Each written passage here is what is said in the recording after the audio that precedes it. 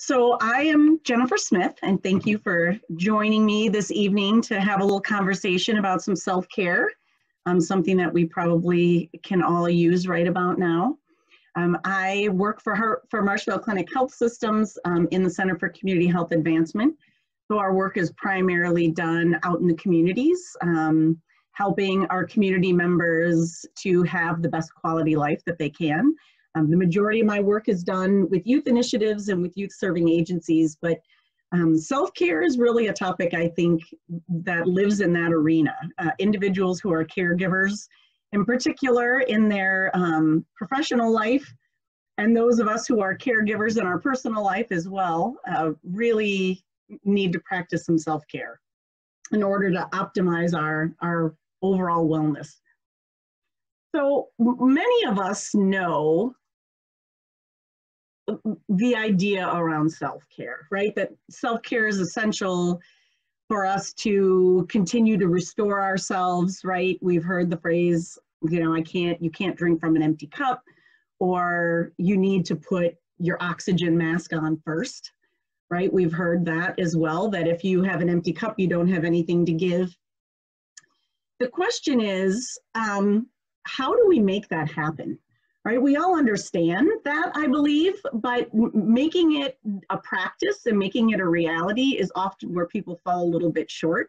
And I am one of those people as well, where I will, um, you know, be on a on a great practice of mindfulness on a pretty consistent basis, and then you know something happens in life and I kind of fall off the rails and then I have to kind of regroup and get back up again. And I, I think that's the reality of being human, that, you know, for us to be um, perfectly consistent all the time is pretty challenging. But if we keep getting back up and, and instituting new practices and keep working, keep working at it, that's really the best we can do. So we're gonna have a little poll here. And the poll is going to be um, asking you about how you feel about your own self-care practice. Um, do you feel great about it, that you are really good at carving out that time for yourself and you're here, I'm hoping to get some new ideas. Um, you feel so-so about it, you sometimes do it, and sometimes it's a little bit of a struggle. Um, or you don't feel so great about it and you really can't figure out how to get started or how to uh, have a system where you stick with it. So I'm gonna launch this poll. And we'll give you a, a minute to respond on how you're feeling about your own personal practice.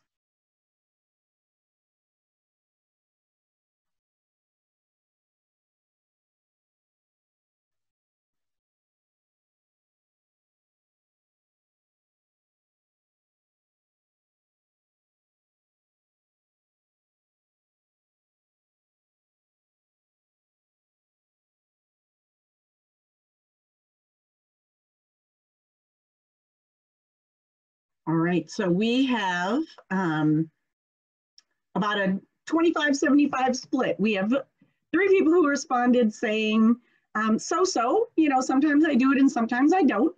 And one person um, who identified that they are really doing a pretty bang up job of practicing some self-care, which is awesome. That's the goal we strive for, right? So hopefully through our conversation um, tonight, we can come up with some strategies in how the individuals who identified themselves as being so-so can really improve on having a much more consistent practice that they feel like is really nourishing and refreshing um, and helping us to feel rejuvenated and kind of continue on in our in our daily lives. So the first thing that we are going to do is just talk about um, some definitions. So we're going to talk about some terms. Um, the first terms are really associated with the ideas of um, compassion fatigue, burnout, what is compassion, and what is compassion satisfaction. So there's times when we um, really exert our energy in helping and supporting others and when we see positive results um, at, at, because of the energy that we've invested, Um, we get a sense of satisfaction from that and it kind of feeds and fuels us. Um, but sometimes we feel kind of overwhelmed by our, our circumstances. And so, or maybe we aren't seeing the successes that we're hoping for. And that can lead to compassion fatigue, where we become, you know, a little bit more um, distressed because of the demands that are being put on us, right? And the far end of that spectrum is ultimately burnout, that if we don't take the time to practice um, some self-care and ways to, to continue to nourish ourselves, um, ultimately we can become overwhelmed by our situation and reach the point of burnout. Um, and if we reach the point of burnout, um, it, it's, it is a point where we really need to think about our life situation and making some serious decisions about if this situation is really in our best interest. Um, and my own personal example of burnout was when I was teaching. Um, I was a special education teacher, commuting um, with a four-year-old and a one-year-old at home. And I was exhausted every day. And I had an administrator um, who really didn't try and make things any easier for me, let's just say. And so at the end of, of that school year, um, I really was completely exhausted um, and really was not finding any joy or purpose in the teaching that I was doing. And so I really had to evaluate, you know, at that point, what was really in my best interest. And I ended up changing jobs because um, the commuting, and the work environment that I was in was really more than I could overcome by practicing some self-care, right? There were things external to me that were going on. Um, so if you find yourself in that type of situation, um, you may really want to just evaluate what, what your life circumstance is and is it optimal? Are you feeling so overwhelmed um, that you're concerned with burnout? So some of the other terms we are going to talk about are stress, reflective practice, and self-care. So the idea of reflect, reflective practice is really just taking the time to think about and reflect on what's going on in our lives, what we're doing, um, what we could potentially be doing better. And so our initial poll was a first step in a reflective practice really thinking about and evaluating how we're doing with taking care of ourselves. You know, are we doing an awesome job or are we doing a so-so job and we're really looking, you know, for some tips and pointers on how to do that practice better. Stress, um, oh, actually, I jumped ahead of myself. That's in the next slide. So let's talk about self-care though. Self-care is really a very um, deliberate activity. So if you notice that in the in the second definition, um, it's something that you plan for, right? So it's not, um, and I think we often kind of get caught in this, and this is what I get caught in myself, is we have this understanding of what self-care is and how important it is. And we think like, oh yeah, I'm gonna start doing a better job of doing that. And then we don't have a plan, right? We don't come up with a way that we're going to ensure that that's happening we just kind of make this decision in our head and then hope for the best that we're really going to follow through and often that's not that's not the most effective way. We may um, you know have spurts fits and spurts of, of good practice of self-care um, but without really having a plan and having some strategy for um, implementation it's going to be really challenging for us to be consistent in our practice. Um, so thinking about how we're going to um, articulate what our goals are and how we're going to put a plan together is something that we're going to talk about in just a little bit. Before we jump to that, we are going to talk a little bit about stress and a little bit about um, some of the consequences if we continue um, you know, down the road of feeling stressed out and not carving out that time and not um, taking the opportunities to really practice some self-care. So if we take a moment to look at our, our stress curve here, um, when we think about you know the stress response, or at least when I think about the stress response. So if we think about you know where we're starting get starting to get to that whole overload, um, sometimes we think about kind of acute events like you know the stress response is um, happens after like a car accident, a natural disaster, maybe, you know, there's some sort of abuse or trauma that happens in, a, in an instant, in a moment that is overwhelming to our system. The reality is um, much of our day-to-day -day stress can be just low-level chronic stress. And if it's ongoing and unaddressed, um, it, really becomes toxic and has a very similar effect to that sort of um, larger scale acute traumatic event. So if we think about our, our current circumstances right now, um, we're living in a time of chronic stress. All of us are sort of in this shared experience of chronic stress. So if we think about, um, you know, we're living in the midst of a pandemic.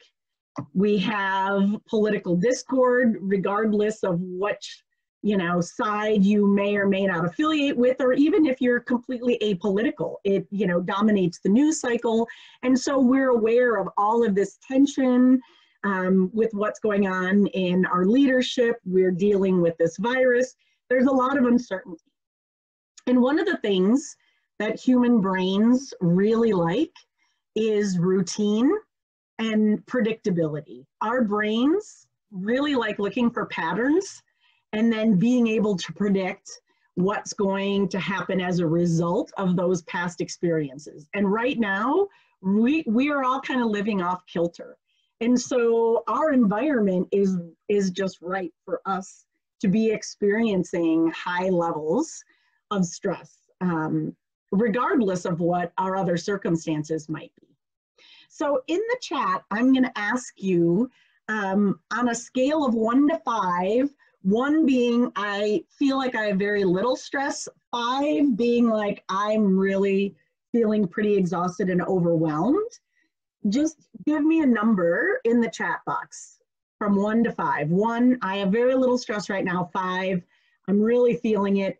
Three would be, you know, kind of at the peak of that curve. Like I am somewhere between um, moving from fatigue into exhaustion, right? So somewhere one to five, looking at that scale. So we've got three, three and a half. Anybody else want to weigh in on where their stress level is? I would say mine is probably about three and a half right now.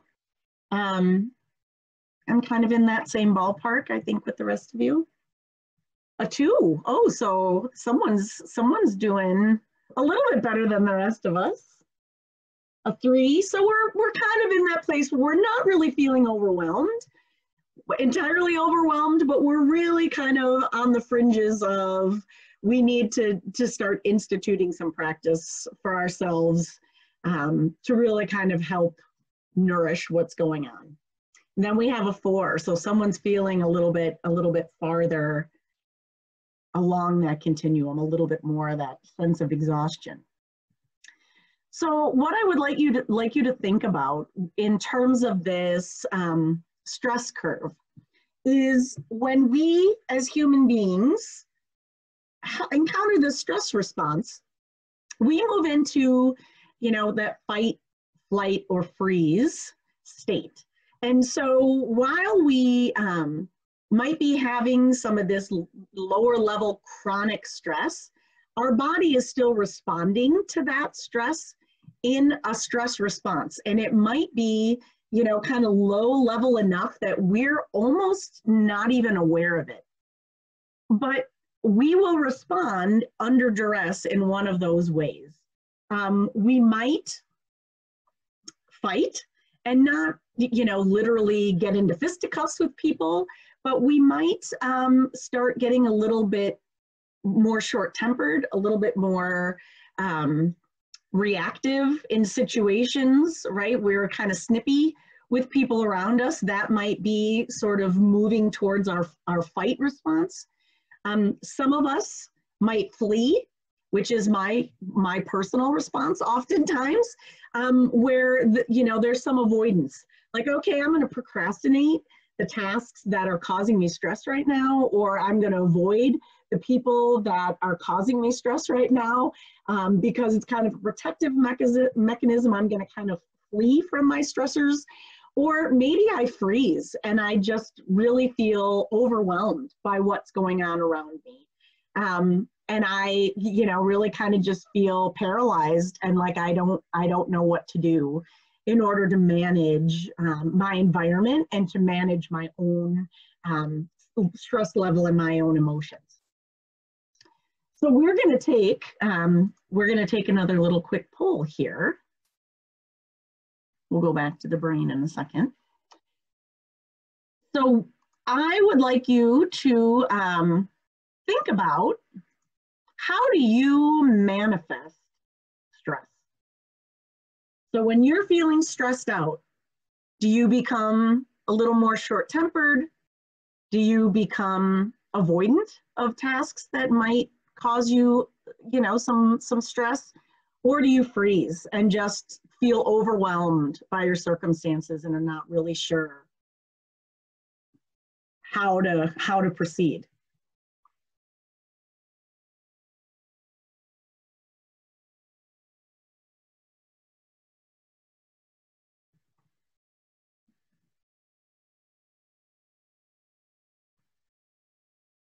All right, we have a 50-50 split and none of you share my response of fleeing. so we have half the people who fight and become a little more um, short-tempered and reactive. And we have half the people who freeze and really just feel overwhelmed by their circumstances and kind of shut down. And then I avoid. I avoid tasks that are causing me stress. Um, so just really creating that awareness um, on how you respond when you are, you know, feeling stress and you might notice that um, you tend to be a little bit more irritable or you tend to really kind of feel overwhelmed and like you want to shut down. And that's also part of that self-reflective practice. Does, you know, kind of check in with yourself and, and see where you're at and how, how you're doing um, and kind of keep a you know a little temperature on on where you're at and what you might need to do um, to help support yourself especially if you're feeling some additional stress. So i'm going to quick go back to our brain slide here and just um, really kind of reiterate that when we are going through a stress response um, this this front part of our brain. So i like to use dan siegel's hand model of the brain if you're familiar with dan siegel. Um, this front part of our brain behind your forehead um, is really our control center. It's where we reason problem solve communicate all those higher level thinking functions happen in this prefrontal cortex. And in the base of our brain we have sort of our survival reactive brain, our amygdala is housed here. This is, you know, very emotional. Um, this is where we live when we're in fight or flight. And so the reason that we may become um, disconnected from what we're doing, maybe we flee, we shut down, we become more irritable, is because we start living more and more in this emotional center of our brain and have a harder time connecting to this higher level thinking brain. So when I talk to kids about um, having, you know, strong kind of em emotional responses to things, we kind of talk about popping the top or flipping your lid. And so what happens is when you have the stress response, you have trouble accessing that thinking part of your brain. And so then it becomes really, um, situations can become overwhelming um, quickly. And so the idea behind self-care is carving out space for you to be in a calmer mental state. So on that stress chart we looked at, you know, sort of that lower level green area where your brain um, can kind of re, you can reconnect that front part of your brain, that prefrontal cortex thinking part of your brain that helps you reason and problem solve and communicate. And by continuing this practice, you strengthen those connections so that even under stress, if you are building in time to um, practice some self care, it's easier for you to gain, regain control of this prefrontal cortex, even if you're experiencing some stress. So that's an important benefit um, from practicing our, our self care. All right, so let's take a look at some of the impacts, personal impacts, um, that happen as a result of us, you know, reaching that stage of compassion fatigue, right? We might um, lose our appetite, or we might eat to kind of feed sort of that empty feeling we might have because we're feeling really overwhelmed or stressed out. We feel like we have a loss of purpose. We kind of lose joy in what we're doing, right? We might become more irritable. We might become more absent minded um, because that focus is really in that front part of our brain. Um, you know, we have might have difficulties relationally with other people, especially if we become irritable and a little more snippy, right? We might become more detached. So there's really a lot of potential impacts on us as individuals if we continue in this sort of stress cycle and don't really take the time um, to practice some self-care and help ourselves kind of recenter and regroup there's also some potential professional impacts, right? So job tasks is um, one of the terms that, you know, jumps out to me as a fleer. I avoid job tests that I don't want to do if I'm feeling really overwhelmed, right? And so that can impact my professional life. Um, you, you know, people have poor morale. We're exhausted. We start blaming other people potentially for what's going on or what's happening or not happening in our environments. We have difficulty um, with interpersonal relationships. Maybe we call in sick more frequently, right? So there's all these other consequences that are possible um, if we continue down this road and end up in sort of that space of compassion fatigue and, and don't carve out that time to take care of ourselves.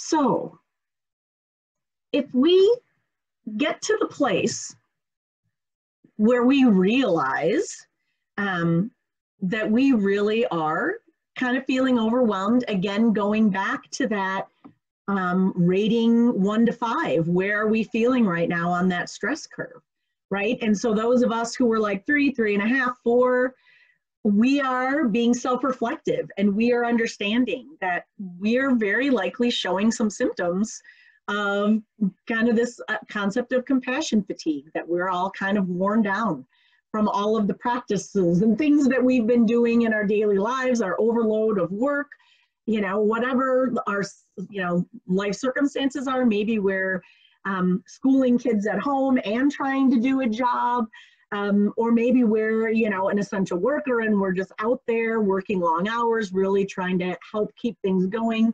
Um, regardless of our circumstances, taking the time to kind of do this reflective practice allows us some space to say, you know, I really am feeling overwhelmed right now.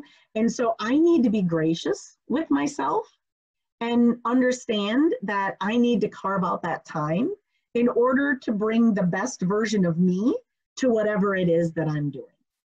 Right? So if it's my job, if it's my family, um, you know if it's my circle of friends if it's my support network if it's my, you know whatever whatever the case may be in order for me to bring my best self into that space i need to carve out some time um, and prioritize me in order to be the best person i can for others right? So it's going back to that idea of um, filling that empty cup right? Or putting your oxygen mask on first. When you take a little bit of time to be self-reflective, then that helps us to know we need to start taking care of, of me for a little bit in order to be able to help others. So if we um, don't have that self-reflective practice and we don't start incorporating some restorative practices into our life, right, then we're just going to continue to compound this, this stress that's in our environment and keep, keep getting stuck in this whole stress cycle. So one of the quotes I love um, from Bruce Lee is that when we're under duress, we don't rise to our expectations, we fall to our level of training, which to me in the in the realm of self-care means if we have not been intentionally carving out time and implementing a practice for self-care to help us to reconnect to that you know prefrontal cortex when we're really living under stress um, then we're going to fall back into that emotional brain and we're going to become reactive or we're going to flee or we're going to freeze because we're not strengthening those connections for ourselves in times when we're not feeling stressed out right? It's just like exercise you know you build your muscles by doing a consistent exercise routine. It's the same thing when we're feeling the stress. If we are not consistently taking the time to build in this practice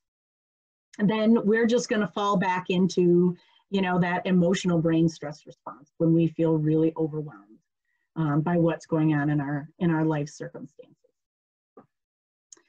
so there are um, a number of areas that we can look at when we're thinking about our plan for self-care so there are really eight dimensions of wellness um, that you can see on the wheel on the right one of the blogs um, that I enjoy reading um, is on the left, The Blissful Mind. And she identifies five of those eight. Um, she leaves out environmental, occupational, and financial.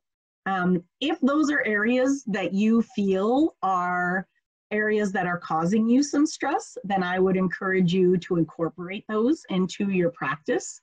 Um, but she really highlights um, sort of the, the spiritual, emotional, social, intellectual um, aspects of wellness in her self-care descriptions. So thinking about, you know, what are areas that I really need to focus on? And sometimes we do some areas really well and we do other areas not so well. So, you know, maybe we're really good at the intellectual aspect of self-care you know, maybe I'm um, an avid reader or I really enjoy doing activities um, that kind of exercise my mind and I'm really good at that. And maybe I'm pretty good at, at physical care. You know, I eat pretty well and I make efforts, um, you know, to move my body and make sure that I'm exercising. Um, but maybe right now, I'm not doing the best job of social, right? I don't have the same level of social interactions because I'm at home, I'm working from home, my kids are, you know, schooling from home. And so I'm not making those typical connections that I would be making. And so maybe I'm I'm missing out on on some of that social interaction that I really need to work on. So how, what can I do to help um, to elevate sort of that practice of connecting with others or maybe spiritually i'm not i'm not really focusing on that aspect or my emotional health maybe i'm not taking time to really address some of those other areas so taking a little bit of time to think about what are some of the areas that i really need to focus on so in the chat box maybe drop what you think is the one area that you think you probably should target first for a plan of action. So what area do you think you should probably focus on? And you can use either, you can, you know, use the wheel that has the eight, or you can, you know, use the five, either way. But think about what do you think are is the one area that you would like to focus on as we start talking about how do I create an intentional plan to make sure that I'm going to follow through um, and really put this plan into action to take care of myself.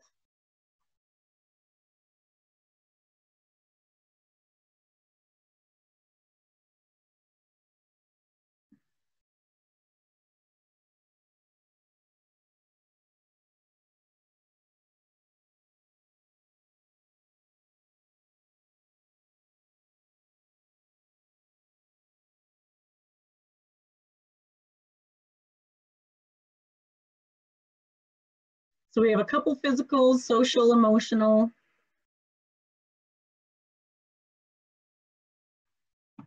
Excellent. So I want you to keep those in mind as we start talking about how we're going to create a plan to help make sure that we start implementing this strategy that we're not you know just going to think about it and then just hope that it happens or or wish that you know all of a sudden on you know friday i'm going to really be motivated to start practicing mindfulness every day right if i don't have a plan of action when friday comes my day is going to be full and it's probably going to fall to the end of my list and the next thing i know it's going to be the next monday and i haven't done any mindfulness so having that plan is really how we make all of this happen so there are um, really some simple activities that we can start thinking about. And this, this really focuses on the five um, aspects that were from the Blissful Mind blog, um, which I think everybody identified um, an area from those five. So this, this will work for us today. But thinking about um, what are some activities that are listed in each of these categories that I think um, are activities that I could practice or implement. And this is not an exhaustive list. There are certainly other activities that you um, could think of that would be beneficial to you or that you might gravitate towards um, more so than anything on this list. The one thing I do really want to highlight is we as a society are very good at monetizing things. And so self care has really become a huge industry. And people um, sometimes think that you really need to have a lot of resources in order to practice quality self care. Right? We have these images of spas and, you know, I'm going for a massage and those types of things. And while those are really enjoyable um, and things that you can do, the reality is the practice of self care can be much more simple it can really be, you know, I'm going to spend um, five minutes every morning doing a mindfulness meditation before I start my work. Um, it can be if I, you know, have physical activity as my goal. Um, I can share with you. I have my little list here. My husband is a is a physical therapist. You probably can't really see this, but he made a list for me.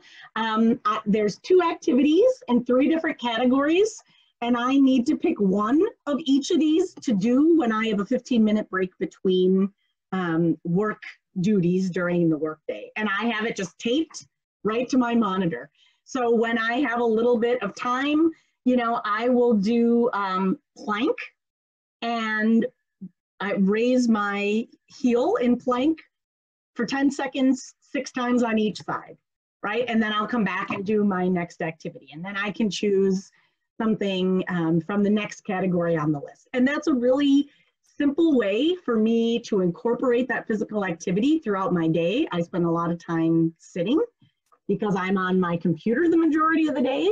So it, it, that's a really easy way. And I made it um, convenient because it's right, it's taped off the end of my monitor. So when I'm looking at my screen, it's there as a reminder to me right? That this is something when there's a break, I have it right here. I don't have to think about it.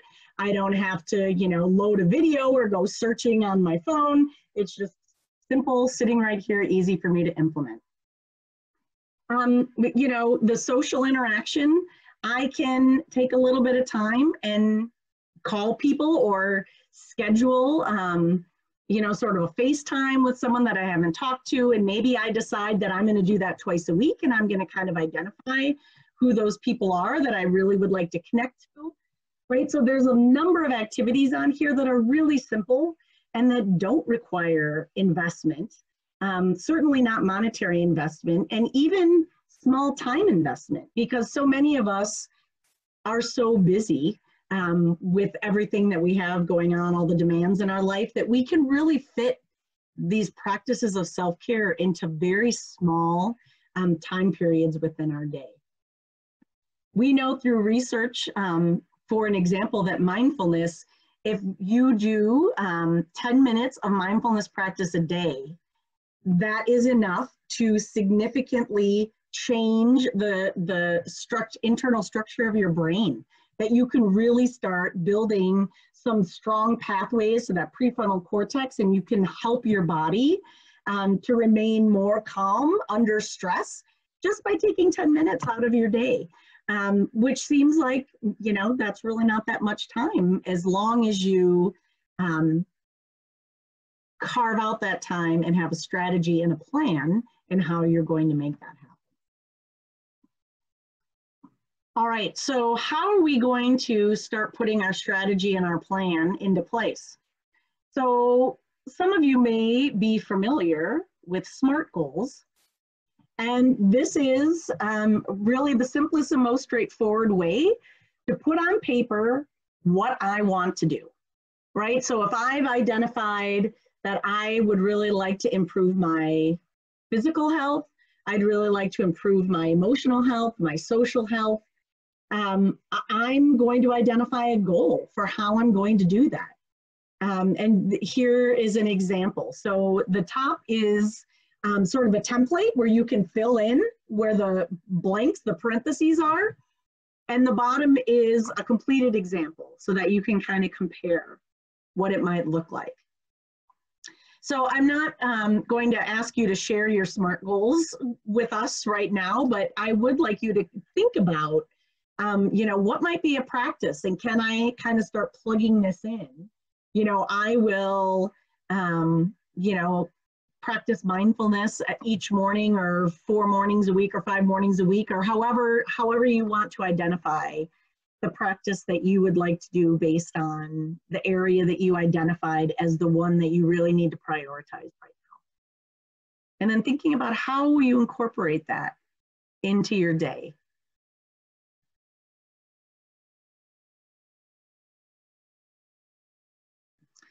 Uh, I had a, um, I participated in a webinar recently where one of the um, presenters had shared um, some really simple ideas that she had practiced for herself. So um, she was really feeling overwhelmed um, and a bit frozen as a result of her own stress response. And so she decided to do positive affirmations um, to help her feel sort of that sense of I have control over my environment.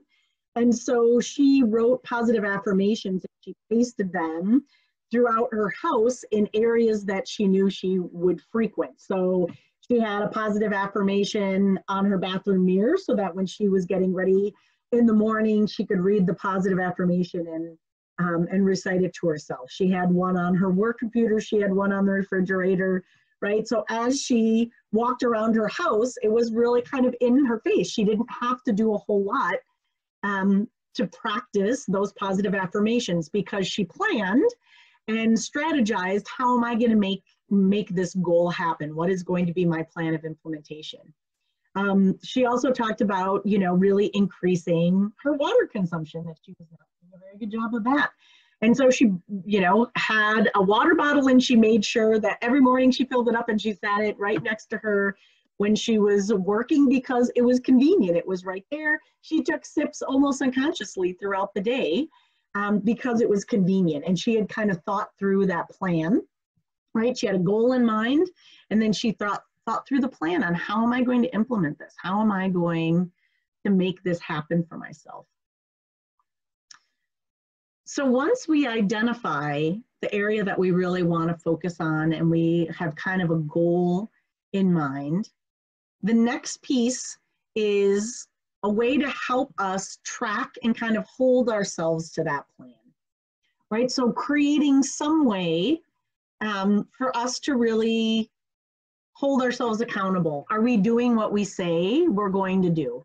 So if we're you know, going to be ambitious and target multiple areas, we can certainly do that because um, ultimately that's best practice, right? Is to do um, uh, as much as we can in these arenas to maximize our overall health and wellness. So hopefully I'm moving every day. I'm, you know, doing some activities throughout the week that are really feeding um, my intellectual self. Hopefully I'm connecting with people, um, taking time to sort of be reflective in sort of that spiritual category. right? I'm um, doing some self-reflection on my emotions and really being connected to how I'm feeling.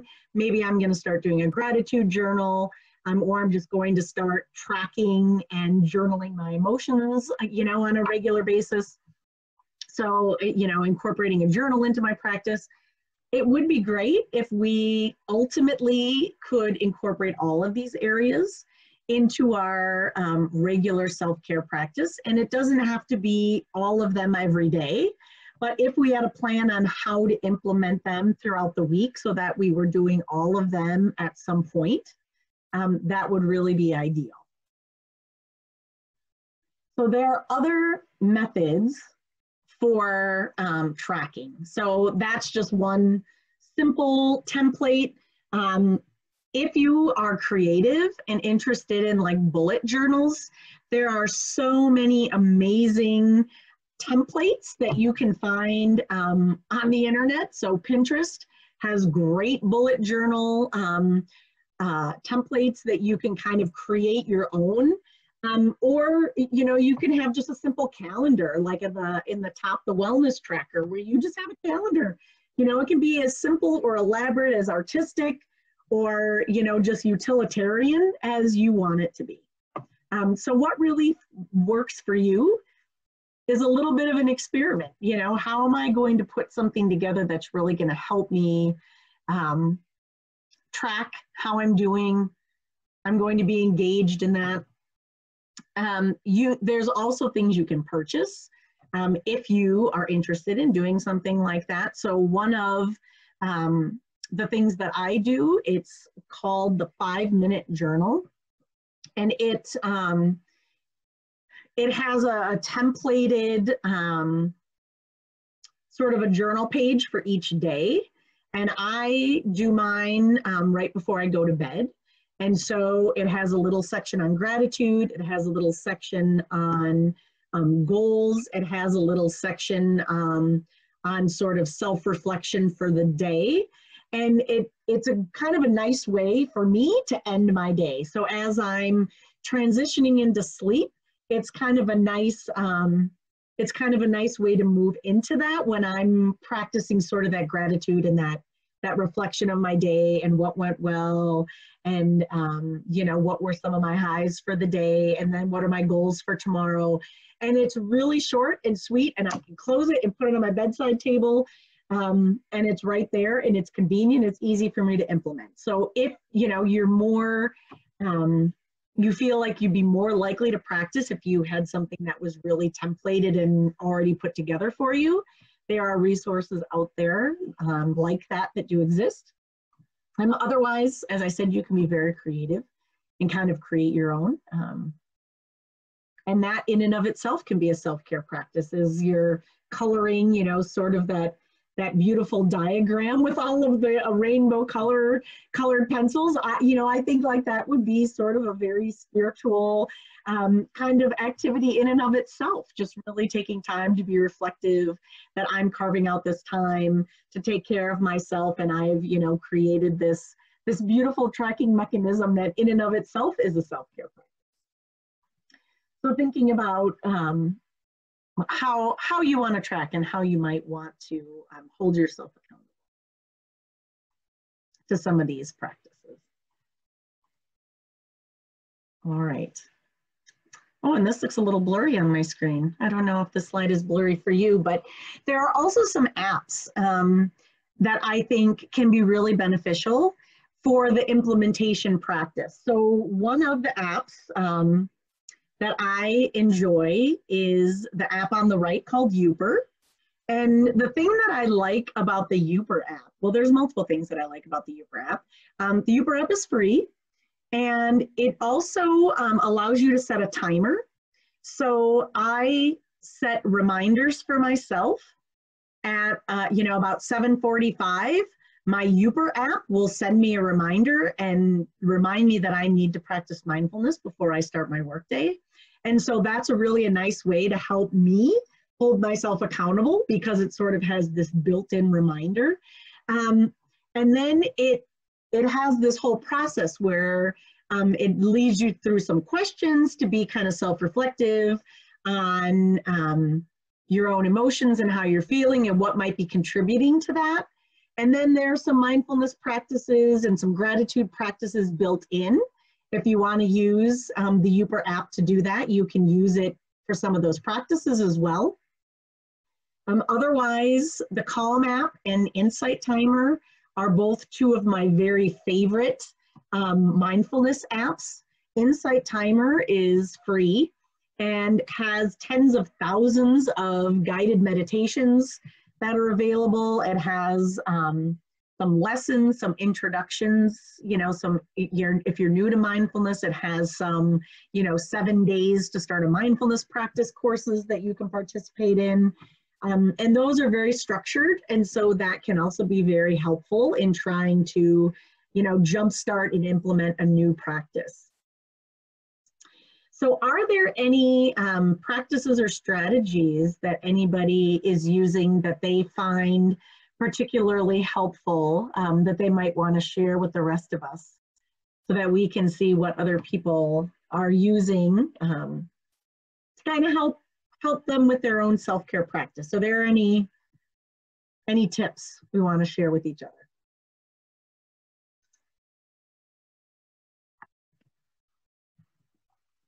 Oh, Insight Timer. Oh, I haven't used it before sleep, but that's a good idea too.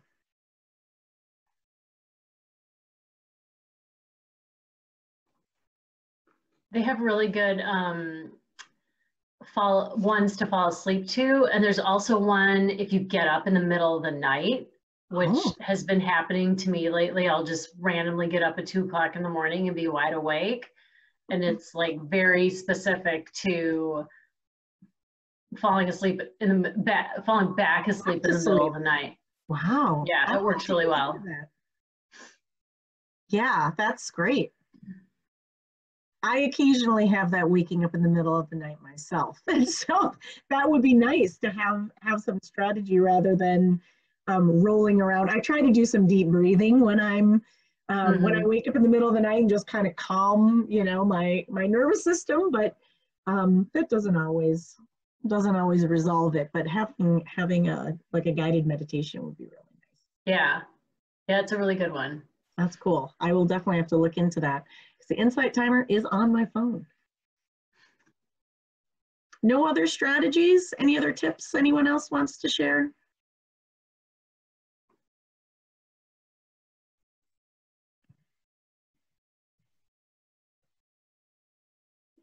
there are so many resources out there you know that if you if you carve out just a little bit of time um, once you identify the area that you really want to focus on and what your goal is you can find templates for just about anything that can really help you um, formulate a plan to make that that happen to help with that sort of implementation of what what it is that you're trying to incorporate into your daily practice or into your weekly practice.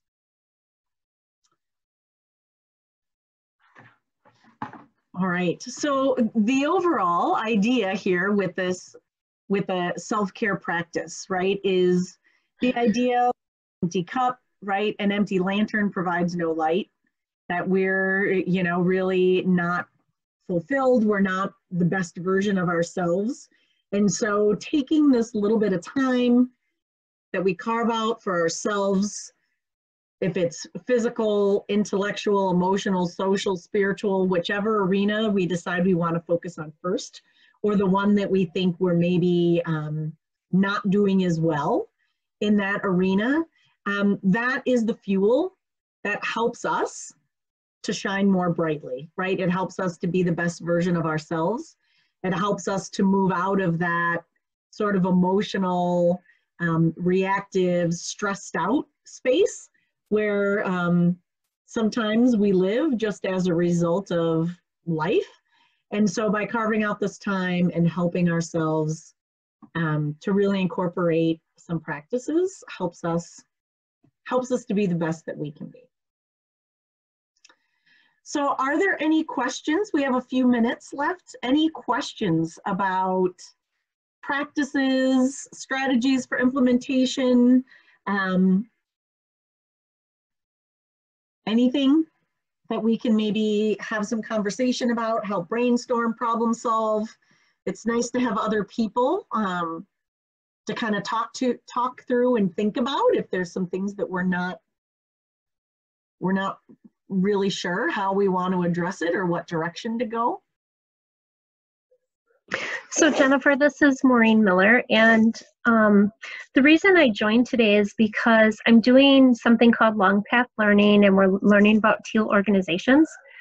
And I chose to um, focus on self-care, not only for myself, but for my entire team. And so I've been doing a lot of different things um, to try to promote self-care within our agency. And so that's really why I'm here today, just to get some more information about other things that I could be missing. You know, obviously, I don't know, I'm just learning myself. So I just wanted to get a little more insight. So thank you for that. Yeah, you're welcome. Um, I, I, will share with you um, that one of the things we did um, in our team, so I um, had been the lead for an after school program that targeted at risk youth. And it was a pretty demanding um, environment you know the staff that was engaged with youth every day.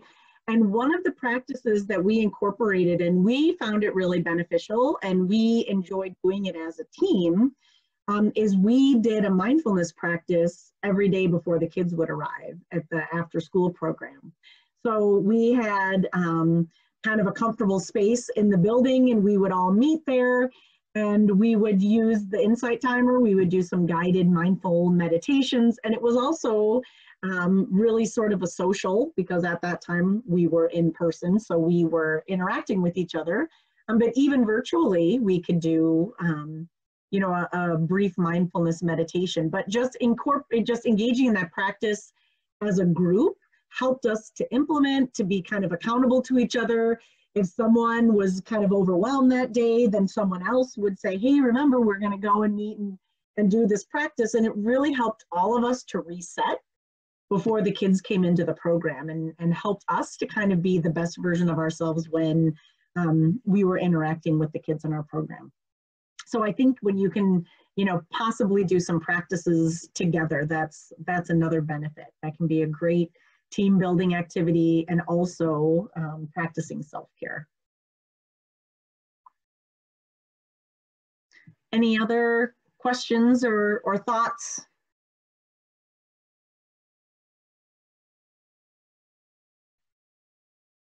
Everybody's feeling pretty, pretty good. We feel like we can start implementing some practice. All right, so if, if you are um, interested and willing, I thought we would end with our last couple minutes, just doing a really brief um, kind of a mindfulness meditation before we close our session today. So if you're willing to do so, um, just find a comfortable seat. So make sure that you're kind of anchored in your chair, maybe your feet on the floor. You know, your spine is not rigid, but you're not slouched. You kind of have that strong, little bit of a strong back. You're comfortable closing your eyes, you can do that. Um, if you are, are not, then that's fine. Um, I would recommend that you just find a spot to focus. So you're just gonna have your eyes focus on one spot and um, just kind of let them go a little bit blurry. Okay, so we're gonna just find this comfortable position. And what I would like you to do is just notice your breath. So we're not gonna change it or control it, just notice are breathing in and breathing out.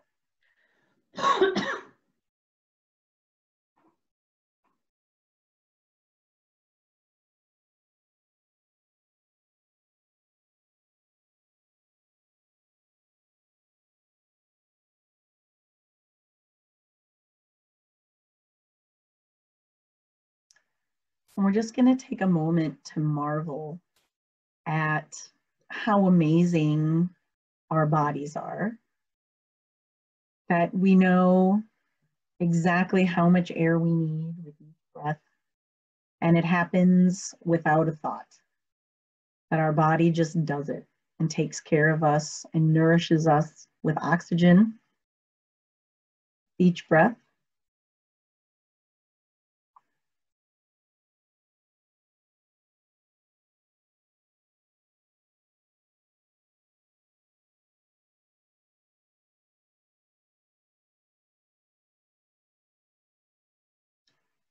And then I would like you to visualize with each inhale that you are really breathing in joy and light and happiness and calm.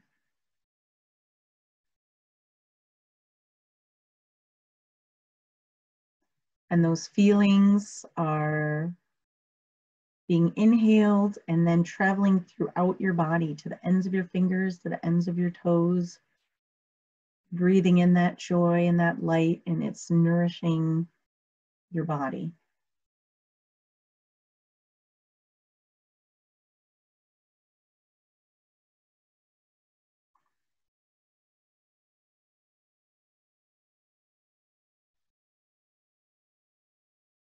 And as you exhale, you're letting go of any stress, anything that's weighing you down, any worrying thoughts. They're being released with every exhale. So we're breathing in joy and light.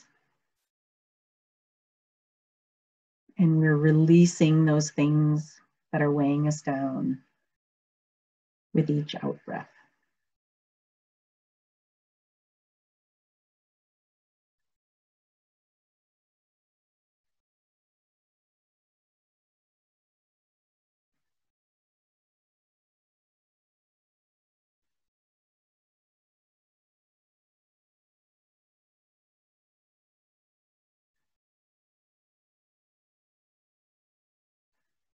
Then I would like you to focus on your fingers and your toes, kind of wiggle them around.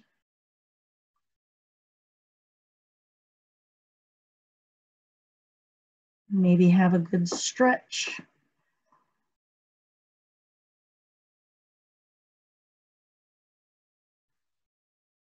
Slowly open your eyes as you're ready. Have one final deep breath in. Let it out. And hopefully you're able to enjoy the remainder of your evening. Take a little time for yourself. Implement a little self-care before you uh, go to bed tonight if you can. And thank you all for joining in our um, webinar today. If you have any um, questions afterward, if you think, oh my gosh, I should have asked this question, I am putting my um, email in the chat box. You could always send me a quick email.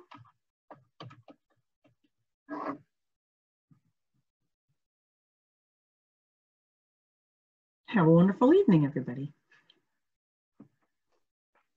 Thanks, Jen. Have a good night. Yeah, thanks. You too, Laura.